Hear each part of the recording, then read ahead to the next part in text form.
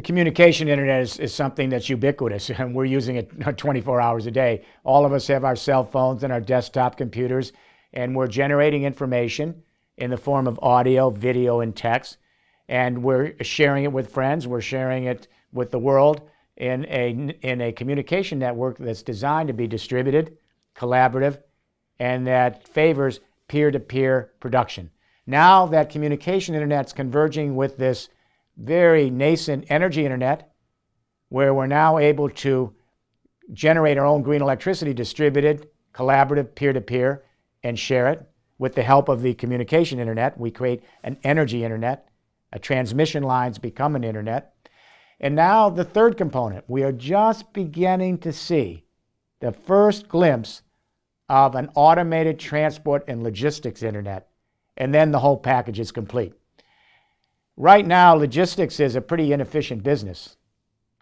Uh, if you take a look across the United States, like other countries, and you look at a truck on the road, Sometimes those trucks are empty. They're dead heading back. They've taken their cargo and then there's nothing on the trip back. Or they only have 20 or 30% of that truck filled.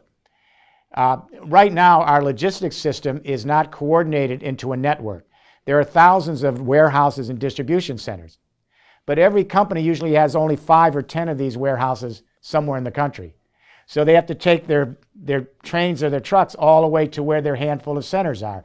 But what would happen if all the thousands of warehouses and distribution centers, privately owned, came together in a cooperative network. So if you're uh, General Electric or Walmart or wherever, or a, pro, a small prosumer, a small and medium-sized company, you would have access to any one of those warehouses when they have surplus space, and you could move your transport only where you needed it in real time, instead of going to a few centralized warehouses across 3,000 miles.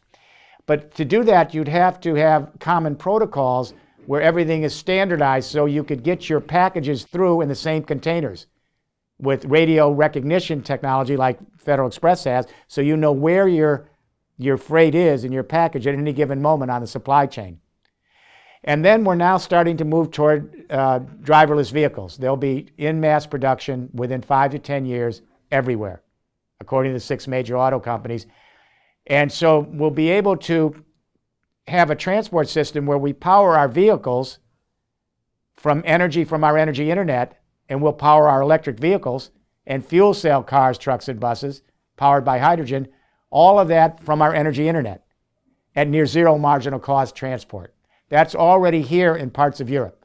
We now have electric vehicles, fuel cell vehicles, powered with, with energy that's near zero marginal cost. In a few years, they'll be driverless reducing the cost even further. And so this transport and logistics internet is connecting with the energy internet and the communication internet, which provides the data, one system. It is a game changer. It is one of the great technology revolutions in history. It's going to change our entire way of life, every single person. What it mainly means is it's the democratization of everything. This means that millions of people and soon billions of people, they're not going to have to rely on the goodwill of a handful of globally uh, integrated, large, vertically integrated companies for the main stuff of life. We've now freed ourselves with information to zero, near zero marginal cost. Millions of us are producing and sharing with each other. And we now have the first early adopters that are now uh, producing their own green electricity at near zero marginal cost, millions of them already.